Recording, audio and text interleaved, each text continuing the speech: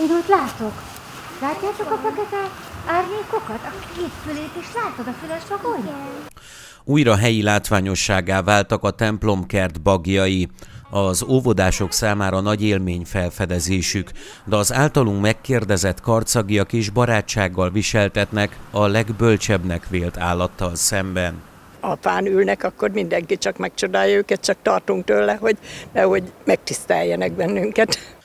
A bagyok élőhelye, akár csak a többi állaté folyamatosan zsugorodik, ezért kénytelenek a város fák lombjain tanyát verni. Innen ugyan még eleljárnak a mezőkre táplálékért, hiszen a bagyok előszeretettel fogyasztanak kisebb rákcsálókat, ám a számukra megemészhetetlen tápláléktól már lakóhelyükön szabadulnak meg.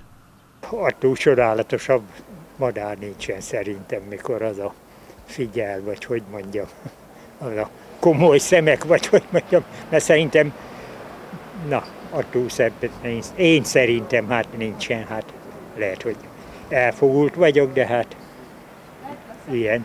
Az erdei fülesbagoly elnevezés ellenére kerüli az erdőséget, inkább a gyérebb fásítású erőfoltokban érzi jól magát.